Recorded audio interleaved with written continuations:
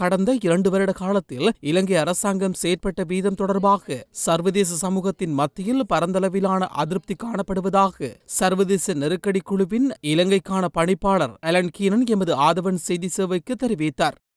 I think it's hard to hard for anyone really honestly to say that the government has done as much or as fast uh, as they had promised to do. I think there's widespread disappointment in this country and in the international community at the pace and the, the degree of change. I think that's un, uh, un, uh, unarguable, really.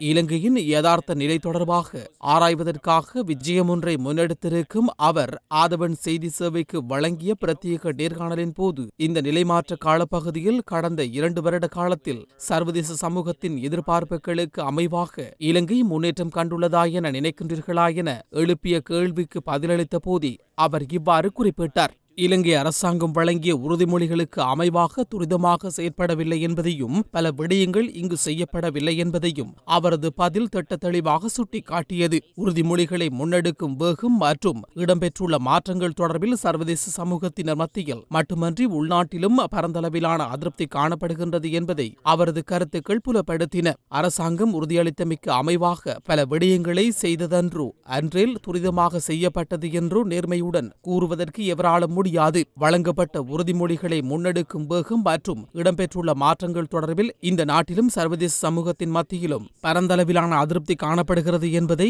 விவாதத்திற்குட்படுத்த முடியாது என சர்வதேச நெருக்கடி குழுவின் இலங்கைக்கான பணிப்பாளர் மேலும் சுட்டிக்காட்டினார்.